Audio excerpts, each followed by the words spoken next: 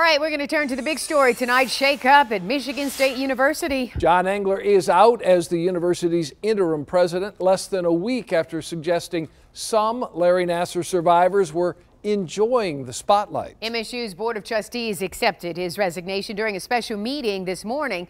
And at that meeting, the board tapped Satish Udpa to take over for Engler. He is the school's executive vice president for administrative services.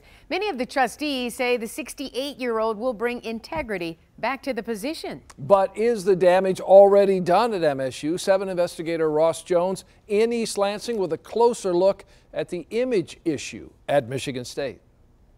Michigan State's fight song calls it a school that's known to all. And for the last year under John Engler, it's been known for all the wrong reasons.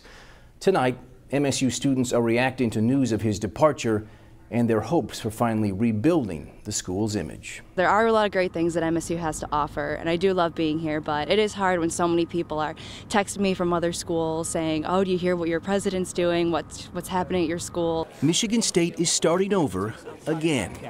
With another new interim president just introduced, its third leader in less than a year, Students we talked to today said they hope their once proud university gives them reason to cheer again soon. We definitely need better publicity. There's been a lot of bad stuff I've been seeing. There's a lot of great things that have come out of this university, and it's sad that there's also a lot of bad things that have come out. Here on campus, it's hard to measure all the damage that's been done, first by Larry Nassar and those that enabled him, and then by the last year of John Engler's repeated insults toward victims. The school's reputation has surely taken a hit, with applications to MSU falling more than 8% last year. I have a younger sister who's planning on coming to Michigan State next year, and I'm more concerned for what her future looks like here and for everyone that's coming in after me. Well, students struck a cautious tone today. Some survivors of Nassar's abuse saw promise that maybe, finally, things will be different this time. Today, I can finally say that I'm truly optimistic and I am excited to see where they are going to move forward from here.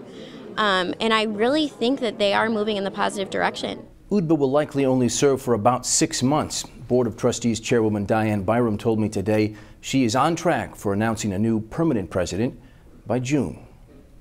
We're at MSU tonight. I'm Ross Jones, 7 Action News. A lot of work to be done.